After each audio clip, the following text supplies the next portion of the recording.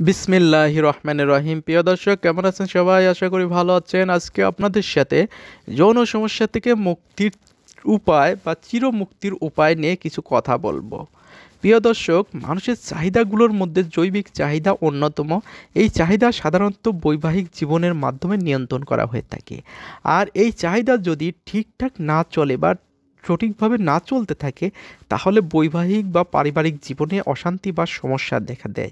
আর এই সমস্যার সমাধান না হলে পরকেয়ার মতো সমস্যা ঘটে থাকে, যার ফলে পরিবার ভেঙে যায়, যা পারিবারিক, সামাজিক, রাষ্ট্রীয় ক্ষেত্রে প্রভাব পড়ে থাকে।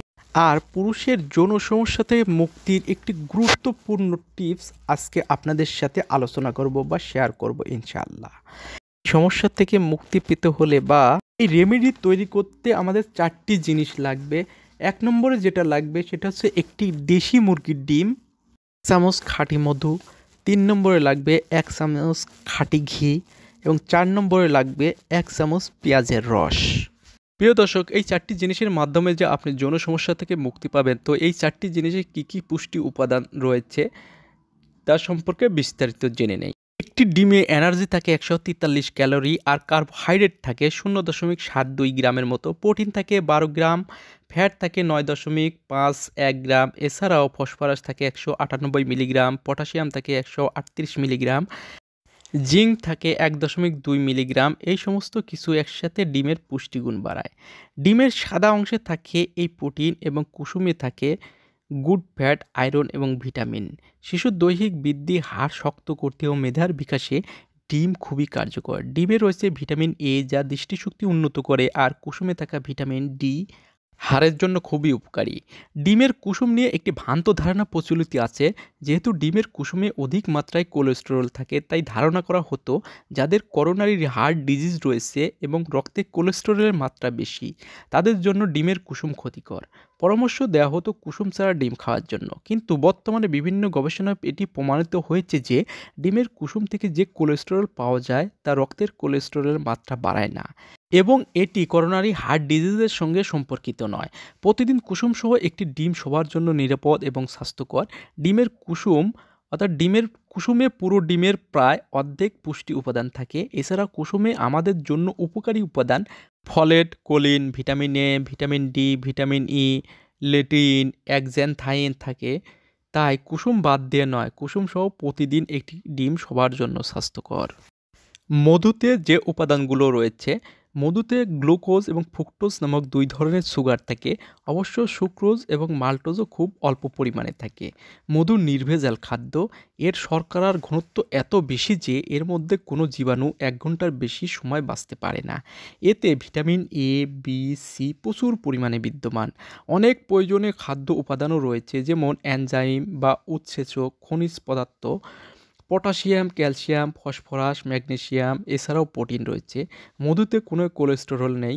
সুস্থ, অসুস্থ যে কেউ মধু খেতে পারেন। সুস্থ মানুষ দিনে দু চামচ অনায়াসে মধু খেতে পারেন। খেতে চাইলে শর্করা জাতীয় খাদ্য, ভাত, রুটি, আলু কমিয়ে খেতে হবে। অন্যথায় মোটিয়ে যাওয়ার আশঙ্কা থাকে। তবে পরিমিত পরিমাণ খেলে মোটা হওয়ার ভয় নেই। হজমের গোল, গোলমাল হার্টের অসুখ, ডায়াবেটিস, প্রভৃতি রোগে আধা চা চামচের বেশি মধু না খাওয়াই ভালো। পোড়া, ক্ষত এবং সংক্রমণের জায়গা মধু লাগালে দ্রুত সেরে যায়। মধুতে রয়েছে পঁয়তাল্লিশটিরও বেশি খাদ্যগুণ। তার মধ্যে কয়েকটি হলো, মধুতে থাকে পঁচিশ থেকে সাঁত্রিশ শতাংশ গ্লুকোজ, চৌত্রিশ থেকে তেতাল্লিশ শতাংশ ফ্রুক্টোজ, শূন্য দশমিক পাঁচ থেকে তিন শতাংশ সুক্রোজ, পাঁচ থেকে বারো শতাংশ মন্টোজ বাইশ শতাংশ অ্যামাইনো অ্যাসিড, আঠাশ শতাংশ খনিজ লবণ, এগারো শতাংশ অ্যানক্রাইম একশো গ্রাম মধুতে থাকে তিনশো তিন calorie, vitamin B one, vitamin B two, vitamin B three, vitamin B five, vitamin B six, iodine, zinc, copper, antibacterial উপাদান, অ্যান্টিমাইক্রোবিয়াল উপাদান, এছাড়া অন্য অন্য উপাদানে ভরপুর। ঘিতে কি কি উপাদান রয়েছে? দিনে যদি এক থেকে দুই চামচ ঘি খাওয়া যায়, তাহলে ক্ষতিকর কোলেস্টেরল কমে এবং বাড়ে উপকারী কোলেস্টেরল। এতে হৃদরোগের আশঙ্কা অনেকাংশেই কমে যায় ঘিয়ের মধ্যে ভিটামিন এ ডি ই এবং কে রয়েছে, তার সঙ্গে আছে কোলিন। যকৃত এবং মস্তিষ্কের স্বাস্থ্য ভালো রাখতে ঘি গুরুত্বপূর্ণ ভূমিকা রাখে। পুষ্টিবিদরা জানিয়েছেন, ঘি দিয়ে রান্না করলে ঘিয়ের মধ্যে থাকা ফ্যাট দ্রবীভূত হতে পারে এবং ভিটামিনগুলো শরীরের উপযোগী হয়ে খাবারে মিশে যায়। ঘিয়ের স্মোক পয়েন্ট চারশো পঁচাশি ডিগ্রি ফারেনহাইট, অর্থাৎ রান্না করার সময় ঘিয়ের রাসায়নিক গঠন দ্রুত ভেঙে গিয়ে ক্ষতিকর রাসায়নিক তৈরি হয় না। মজার বিষয় হলো, দুধে যাদের অ্যালার্জি রয়েছে, তারা ঘি খেতে পারেন। তৈরিকৃত ঘিতে ফসফোলিট থাকে, যা মানুষের স্বাস্থ্যের জন্য খুবই উপকারী। ঘিয়ে ভিটামিন এ ডি ই এবং কে রোগ প্রতিরোধ ক্ষমতা বৃদ্ধির পাশাপাশি অন্তের স্বাস্থ্য ভালো রাখতে সাহায্য করে থাকে। হাড়, চুল এবং চোখের জন্য এটি উপকারী। তাছাড়া অন্তর থেকে বিষাক্ত উপাদান দূর করতে সাহায্য করে থাকে এই ঘি। গবেষণায় দেখা গেছে যে ঘিয়ে চর্বির গঠনে ডিএইচ এ পাওয়া যায়। এই ডিএইচ এ এক ধরনের ওমেগা থ্রি ফ্যাটি অ্যাসিড আমরা যে খাবার খাই, তার থেকে খাদ্য উপাদান শোষণ করতে সাহায্য করে ওমেগা থ্রি ঘি ছাড়াও ওয়ালনাট মাছের তেল ফক্সাসিল বা তিসিতে পাওয়া যায় এই ওমেগা থ্রি। ডিএইচে ক্যান্সার, হৃদরোগ, ইনসুলিন, রেজিস্ট্যান্স অ্যাথাইটিস এডিএইচ প্রতিরোধ করতে সাহায্য করে থাকে। পেঁয়াজে যে সকল উপাদান রয়েছে, পেঁয়াজে আছে vitamin B one, thiamine, B two, riboflavin B three niacin, B five pantothenic acid, B six, B nine folate ও ভিটামিন সি।